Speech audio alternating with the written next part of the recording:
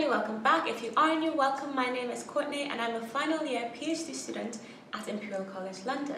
In today's video, I'm going to be covering six steps of writing a research paper. As I said, I'm a final year PhD student and that means I have done quite a bit of writing over my academic journey which is from my master's, undergrad, and now in my PhD. I have to write several chapters which can count as research papers in of themselves, and a PhD is one big giant research paper.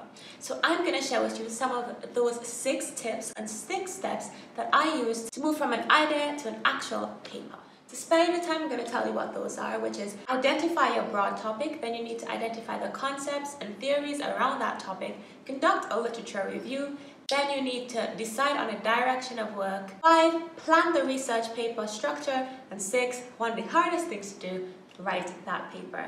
So let's get into it. The first and more easy of these six steps is identifying what your research topic and area is.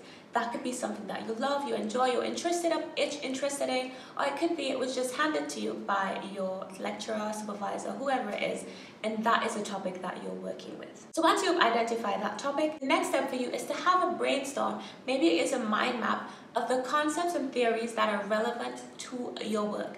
What do you know? What do you need to know? What others need to know to follow a research paper that you're going to be writing? Once you've identified some of those concepts and theories, your next step is to start to research, as the name suggests. Start looking into those concepts, understanding how they have been used, what the limitations are, um, how are you going to use it? And in that, we call this the literature review. So your third step is to conduct the literature review, viewing a substantive amount of literature for that paper on the different concepts, the different theories that have been applied to that area that you're researching. So when you start conducting your literature review, what is key is that you look for the definitions of the concepts, you understand how they have been applied, what are some of the challenges associated with them, what are some of the challenges associated with applying them, what are the limitations to different theories, and most importantly, while doing and conducting the literature review, make notes of these points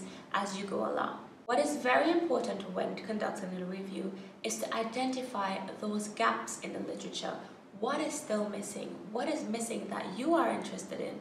What is missing that you can contribute and how can you contribute to that?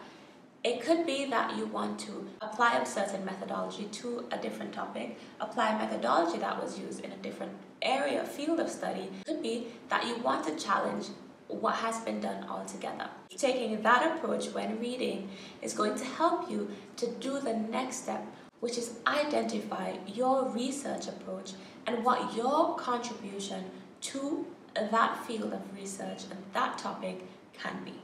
For qualitative research, a literature review will generally feed into what is known as a theoretical framework.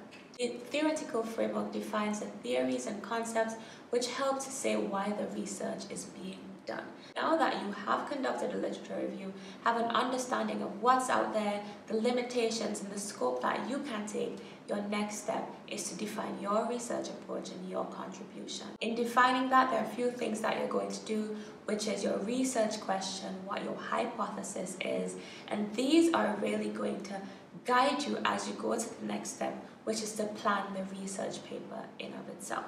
So planning a research paper, I'm going to address it from two standpoints. Scientific, science-based engineering STEM papers, a lot of them tend to follow that structure of back, abstract, background or introduction, methodology, results, discussion, conclusion. But again, some more social science papers tend to, um, policy papers like myself, tend to be broken down into unconventional subheadings, um, which is based on our different ideas that we're producing. And planning your research structure, kind of have an idea in your head of how you want to finish. That question of how you want to finish is based is somewhat based on your hypothesis. You hypothesize that this will be true or this won't be true. And that is how you can start structuring your thesis and breaking them into sections. To structure your research paper, you want to start with the broad overarching headings. That would be background and introduction.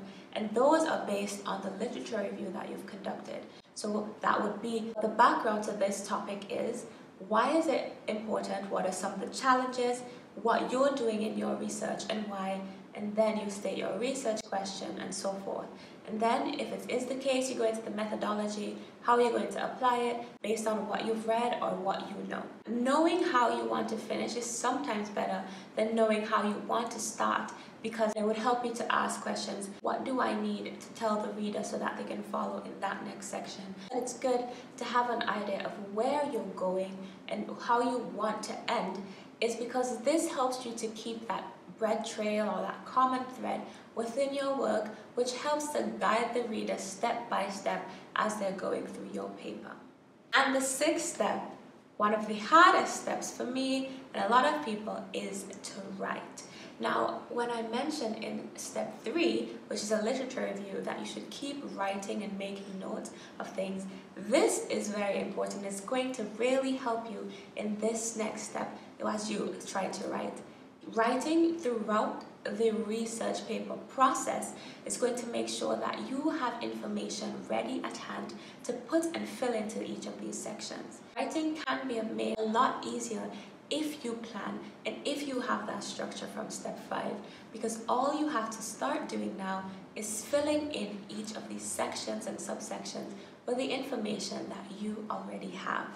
Just to recap those six tips for writing your research paper, we have one, identify the topic, two, brainstorm and the concepts and theories that surround the topic that you need to be aware of, Three, conduct your literature review. And if you are interested in seeing how to do a literature review, drop a comment down below and I'll try to do a video on that. Four, define your approach, your research question, and your hypothesis. Five, plan and structure your research paper around the main idea of how you want to end and your hypothesis. And six, just get to writing. So thank you for watching. If you did enjoy this video, please hit the like button and subscribe for more content like this, and I'll catch you in the next one.